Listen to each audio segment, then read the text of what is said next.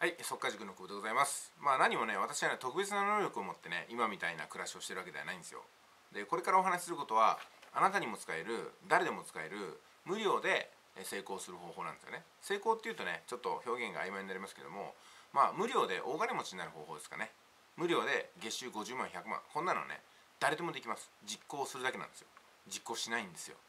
実行しないのにより実効性の低い有料のものを買うでしょ。だからまず私の動画を見てあそういうことなんだ。まずそれをやってみようかな。って考えていただければいいです、えー、現在ね YouTube にはいろんな動画落ちてますよね。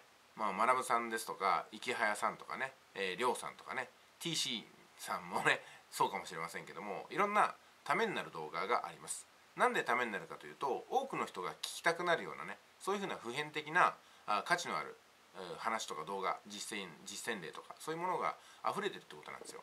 それはもう動画の再生数見れば分かりますよね。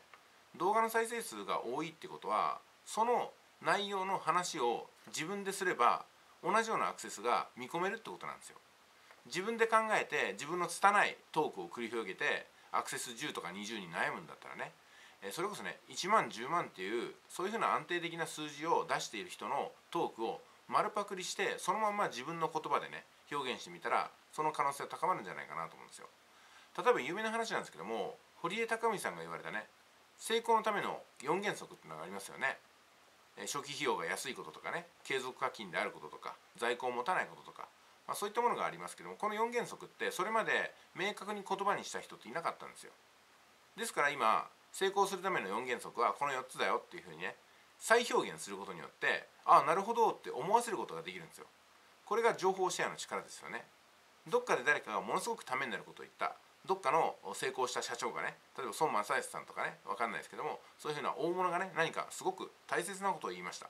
それをたまたま自分が聞いたらまだ聞いてない人にさもね自分が知ってたかのように語るだけなんですよ。大悟さんって言いますよね。大悟さんって素晴らしい方だと私も思いますけども大悟さんってのはいろんな論文を動画で話してるだけなんですよ言ってみれば。だからその論文を先に読んでいればもっと言えばねその論文を書いた人以上の解釈っていうのは存在しないんですよ。でも DAIGO さんっていうのはこんな研究結果があります。こんな論文がありますっていうふうに紹介するだけで多くの人に大悟さんってすごいなって思わせるわけなんですよね、うん、だから何もね DAIGO さんから聞かなくても自分でそういうふうなね論文をたくさん読んでね PDF ファイルをいっぱい読んでもしくはそういった講義の動画とか論文を解説した動画をたくさん読んで知識を高めてそれを自分がね紹介していけば同じような似たような結果が出るんですよ。だからこれがゼロから情報の力によって大金持ちになる方法なんですよ。でこれできそうですよね。だってアクセスを集めるような情報を自分で発信すればいいんですよね。そしたらアクセス集まるじゃないですか。それが全てですよ。YouTube というものを使ってね同じような情報発信をすると。誰がしてるかではないんですよ。何をしてるかなんですよ。有名人が言ってるから効果がある。それはね有名になったからできることでもあるんですけども有名人も最初は有名じゃないんですよ。どうやって有名になったかっていうと自分が無名な人が話すから有名になったわけじゃないんですよね。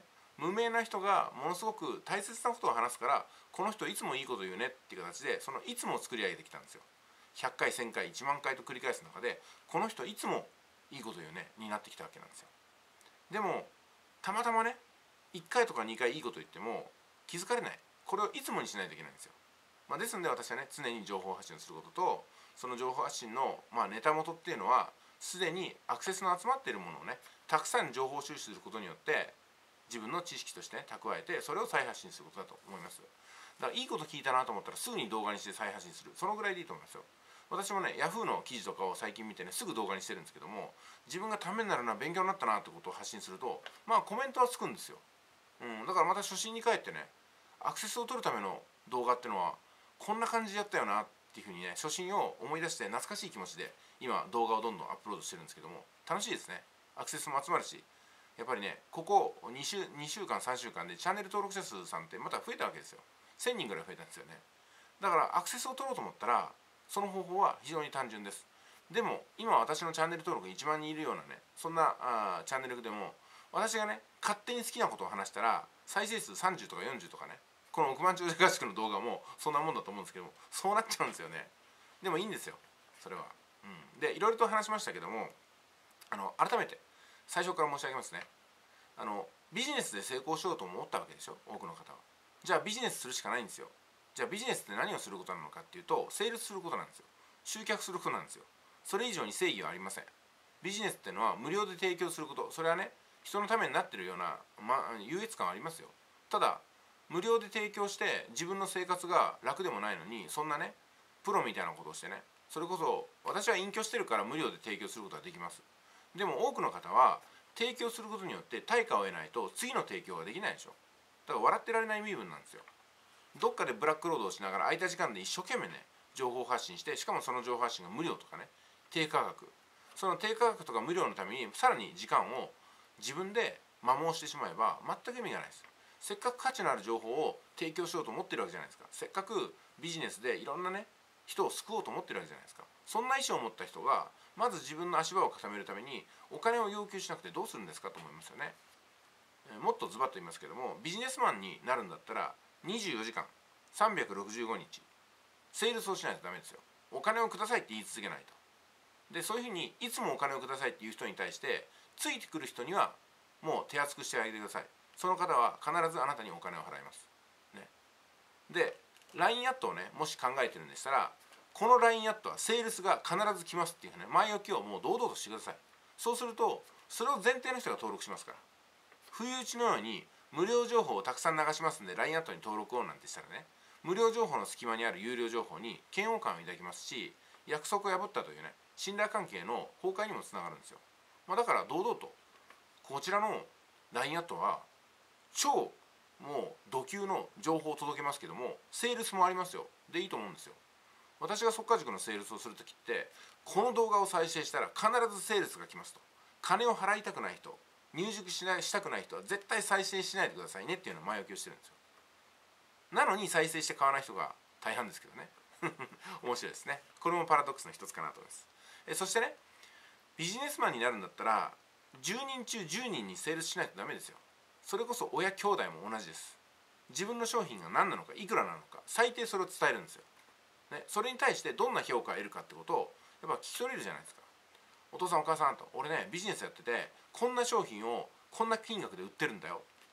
買わない？とまで言わなくていいですよ。そういうことを表現してますかってことなんですよ。自分の信頼関係がある人に。自分の彼女とか彼氏にも言わないとダメですよそれは。そうすることによってその商品とかねサービスとかビジネスに対して一番身近な人がねどう考えてるのかってことがすごく参考になるんですよ。その積み重ねが売るスキルにつながります。そういうこと毎日やってますかってことですよね。毎日やらなければ売る感覚なんて身につかないですよ。それこそね私は吉田さんがどんな商品売ってるのか知ってますし吉田さんは私が速稼塾ってものをどういうふうな売り方をしてるか知ってますよ。でそういう関係を広げていかないと全然話にならないですよね。ビジネスマンなのに商品が決まってない。価格に不安がある。誰が買うんですかって話ですよ。堂々と値段をつけてください。100万円でいいんですよ。100万円で売れなければ100万円で売れるものはできなかった。その事実が残るじゃないですか。だからしっかりと成立して話を聞いてくれる人話を聞くでも断る人最初から話を聞かない人買ってくれる人いろんな住み分けができる中で自分の価格帯と自分の力量のねセールスとかが見えてくるわけですよ。それをコツコツとビジネスをするってことなんですよ。やってますかね多くの方。やってないんじゃないかなと思います。で今ね成功する方法は全て無料で世の中にたくさん落ちてます。なのになんでね成功できないんですかと。不思議ですよ。先ほども私言いましたけどもいい話だなと思ったものを今度はよしじゃあ自分で再発信しようかなとすれば自分に集客ができるじゃないですか。よくある例っていうのが世界の名言集をいまだに動画で新しく作ったらアクセス集まるんですよ。これ試しにやってみてください。ね世界の名言ですよ。それこそアレキサンダー大王の話からね真の始皇帝とかが言った有名な言葉とかそれこそねあの松平健さんが言った言葉でもいいですよ。有名人の言葉芸能人の言葉でもいいですよ。スポーツ選手の言葉でもねイチローの言葉でも。そういったものをいろいろねつなげていって自分なりの見解を出す。もしくは自分の見解出さなくてもいいです。いい言葉だけを100個選んでそれを動画でつなげてねただその言葉が出てくるだけみたいにしてね。BGM ハラーっとフリーの音楽かけたりとかね。それでアクセス取れますよ。ずっと。しかも数年後も。電気消えちゃった。でそのぐらいのことを無料でできるのにそれをせずにねなぜかね有料のを買っちゃうわけですよ。有料の買うなってわけじゃないんですけどもちょっと順序がねもったいないと言いますかね、うん、違うんじゃないかなと思うんですよね、うん、でこれだけもう超有料級の情報が無料で落ちてるのになんでねいまだに有料のものが売れるのかってこと。これもパラドックスなんですけどもやっぱり人はねお金を払ったものに価値を感じやすい性質なんですよ。でプロになってくると無料のものなのにそこから価値を引き出すことがいくらでもできるんですよ。でも多くの方はプロではないです。だから単純にお金を払ってその金額と同じような価値を取り出すことから始めた方がいいですね。100円払ったものには100円分の価値。1000円払ったものには1000円分の価値。30万払ったものの中から最大限で30万円分の価値を取り出すのがやっとです最初は。ひょっとしたらね50万払って1000円分の価値しか取り出せないのかもしれません。それは自分のビジネススキルが低いんでしょうがないですよ。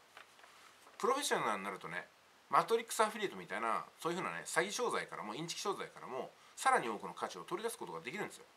ね吉田さんね、うん、だからマトリックスアフィリエイトだろうがノアコインだろうがどんとこいですよ。全てのそのあやふやな情報から価値を取り出して自分なりにデコレーションして必ず最大限の収益に変える。それがビジネスの上級者なんですよね。私はそこまで来てると思います。でね多くの人ってのはお金を払ってもやりません。だからビジネスの初心者素人なんですけどね。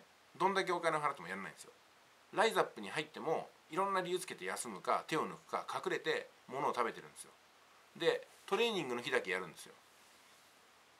ねどうですかね。今ね最高ファイトクラブっていうのが亀田親父のもとでやられてるんですけども昔のガチンコファイトクラブみたいにね。これすごいですよ。週に1回しか練習しないんですよ。あとは自主練習なんですよ。でも週に1回のそのね自主練習で1週間全てが見抜かれるんですよね。当たり前ですよね。やってる人は顔つきも変わるし体つきも変わるし意識も変わるんですよ。でもやってないやつは5択ばっかり並べて何も変わってないのに偉そうに自分の主義主張を繰り返すんですよね。これは昔のガチンコファイトクラブと全く変わらないですよね。最近のね最高ファイトクラブは結構みんなガチンコです本当に。すごいエネルギーの塊ですね、うん、すごいいい番組ですね。最高ファイトクラブ、うん、亀田親父のやってるやつですね。すごいですよこれは。見てほしいなと思います。で大半の人はお金を払ってもやらない。その原因をねコンテンツが悪かったとかね詐欺だったとかね自分に向いてなかったっていうふうにとにかく言い訳するんですよ。そうではないんですよ。自分をどれだけそのコンテンツにはめていけるかなんですよ。ライズアップのプログラムに暮らしをどれだけ変えていけるかなんですよ。そうすることによって自分が変わるから結果が変わってくるんですよね。でも自分が買うべきコンテンツを変えてもダメですよ。自分がずっとその位置にいるんだったら。全然変わりません。違うんですよ。商品を買うなり無料のものを見るなりしてそのコンテンツに対して自分の意識とか暮らしを変えていくんですよ。まるで別人の暮らしのように。じゃないと結果としての自分の暮らしは変わりません。収入変わりません。今の暮らしの延長線上に未来があるわけではないんですよ。今の暮らしを捨て去ったその先に未来が構築されるんですよね。ここを多くの方が勘違いしてます。私は麻雀店店主という人生を捨てた。だから隠居っていうものが手に入ったんですよ。ネットビジネスのプロフェッショナルの道が手に入ったんですよ。これをね不連続への挑戦と私は名付けてます。それまで付き合ってた彼女と別れるから新しい彼女と付き合えるんですよね。胸を張って。私はそれがね苦手だったんですよ。今までの彼女と別れずに次の彼女と付き合ってたんで問題が起きてたんですよ。だからそれを一切やめたんで私は結婚生活とか今ね子供が生まれましたけどもそういったまっとうな暮らしが手に入ったということなんですよね、うん、だから今までの自分を捨て去る、うん、新たに生まれ変わる覚悟は絶対に必要ですね。で最後の方になりますけども本当にね今日はね長い動画になりましたけどもあのネットワークビジネスってあるじゃないですか。ネットワークビジネスを成功しようと思ったらネットワークビジネスの攻略方法を構築してその暮らしに自分を変えないといけないんですよ。だからね紹介が苦手な人がネットワークビジネスに入ってもダメです。もう日々紹介日々ネットワークビジネスの話。あの人はネットの人だよネットワークビジネスの人だよねっていうふうに言われるぐらいにやらないとダメです。しつこくしつこく。またなんか商売誘われるよ。また何々から電話かかってきたよ。また何々に誘われて会おうって言われたよ。なんかのセールスじゃないか。って言いながら会いに来てくれる人を作んないとダメなんですよ。でネットワークビジネスで嫌な印象を持たれたらそもそもアポイントメント誰も取ってくれないですから。そうなったら自分は修行が足りないんだなと思ってまた一からやり直せばいいんですよね。適度に仲良ししてて適度にセールスかけてるようなかけてないようなね、うん、嫌だったらいいよみたいなね。クーリングオフもあるからみたいなそんな弱気なことで誰が信用するんですかってことなんですよ。もうあなたの人生にこの商品とかこの仕組みが絶対必要なんだよと。私と一緒にやっていこうと。私は逃げないから。いつでもサポートしてあげるからぐらいの腹をくくってやればそれは人の気持ちは動きますよ。自分が変わってないんですよ。自分がビビってるし自分がネットワークビジネスにもう恐れとか不安を抱いてるんですよね。そんなんで誘うから詐欺なんですよ。そうじゃないと。徹底的に食いつぐしてやるぞと。このネットワークビジネスで這い上がってやるんだって意識があれば人はついてきますって。そこまでね腹くくってないんですよね。でその他店舗ビジネスもそうですよね。店舗をやるときにもういつでも辞めたらこんな店っていうオーナーのところに誰が働きに来るんですか？誰がお客さん常連になるんですかって話ですよね。だから店舗も骨を詰めるつもりでこの道で生きていくんだと。この店を全国47都道府県に広めるんだぐらいの、ね、気合を毎日見せていくんですよ。じゃないと人はあの引っ張られあの引っ張れません。じゃないとねダメですよ。ビジネスやるんだったら、うん、それから転職ですよね。転職ってのは多くの人にネガティブなイメージを持たれてますけども私はね転職ってすごいチャンスなんだと思うんですよ。どんなチャンスかってことをこれから言いますよ。例えば飲食店に勤めてる人。ね飲食店に3年4年勤務しました。そういう人が転職します。携帯電話会社の営業に行きます。ねこれすごいチャンスなんですよ。だって携帯電話会社の営業に行くじゃないですか。全くかぶっていない前職の飲食店の仲間に声をかけて営業をかければいいんですよ。ね、今は携帯の電話で頑張ってるんだと。携帯どう？進めさせてくれる？話聞いてくれる？ショップに来てくれる？これでいいじゃないですか。それまで飲食店でちゃんとした人間関係作っていればこれができるんですよ。でも大抵の方って前の職業の人と合わないんですよね。逃げるように飛び出してくるでしょ、うん、時には分別するでしょ。再開しようなんて思わないですよね。だからまた一からなんですよ。違うんですよ。今までの人生に関わった人とさらに濃い関係を持つためには自分が新しい世界でいかにね腹をくくってるかってことを見せていって俺に任せろと。携帯電話の話は飲食店忙しい人にはなかなかわからないだろうから任しといてよって形でその飲食店に勤めてる方の携帯のそのアドバイザーになるくらいねコンサルティングができるぐらいに自分を売り込んでいけばいいんですよ。でそういうふうな転職を繰り返していったら転職の数だけ人脈ができて転職の数だけセールスのチャンスが増えるんですよ。結果独立企業してもいくらでも物が売れるってことになります。ね。だこれはね NHK の訪問とか宗教の勧誘につながるんですよ。NHK の訪問とか宗教の勧誘がうちに来た時に断ってさよならするんじゃなくてこの人にいつか物を売ってあげるから今は話を聞いてあげようっていうふうにまずは受け入れてあげる。これがビジネスマンのプロの第一歩ですよ。集客に困ってる人が向こうから来てくれた人を拒絶してどうするんですかってことですよね。向こうから来てくれる人はどんな人でも受け入れる。だからこそ道が広がっていくんですよ。で宗教とかね NHK の向こうにはもう膨大な人がいますからね。それも逃してるんですよ結局。私はだからエホバの商人さんの訪問とか他のね宗教関係の人の訪問を受けてしっかりと家の中に上げていただいてあ上がっていただいてね1時間2時間みっちりお話してその方たちの集会にも行くんですよ。その方たちの集会にも行くから膨大な人が集まってるところに自分が参加できるわけですね。ネットワークビジネスのセミナーも一生懸命行くわけですよ。今は行ってないですけどね。一緒に行って一生懸命行ってそこであのたくさんのねあのビジネスをこれから取り組もうとしてる人意識を向けてる人に自分のビジネス紹介すると。すごく効率いいでしょ、うん、だからね自分がやってることはさておいて人のやってることを否定してるといいことが全くないんですよね。えー、ということでね今回は長々とお話しましたけどもこの動画でためになったなと思うことをすぐに再発信してください。それこそ YouTube やってない方でもいいんでこれからチャンネル登録チャンネル解説かチャンネルを作ってそこであこの話は良かったかもしれないっていうのをね是非ね1分でも2分でも話すところから始めればいいんですよ。それがプロになるための第一歩。月収100万になるための最初の第一歩なんですよ。その第一歩をなくして月収100万も10万も1万もないんですよ。ねこれ無料情報でしょ？で私は実際に3年で1億円以上稼いで借金返してで税金を滞納したら払って一戸建ての家を買って今全く自由な暮らしを送ってますよ。24時間。どこにも勤務行ってません。今回の感染症騒動でも私はずっとステイホームしてるんであんまり変わんないです。それこそね、うん、世の中が3密を避けて外出しなくなったんでどこに行っても空いてていいなって思うぐらいですよね、うん、まあそんな感じですよね。はいということで長くなりましたけどもいってらっしゃい。